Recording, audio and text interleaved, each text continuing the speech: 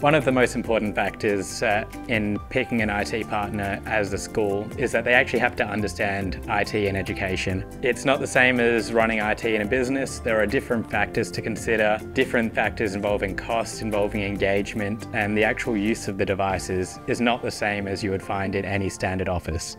So having a partner that understands that is uh, invaluable.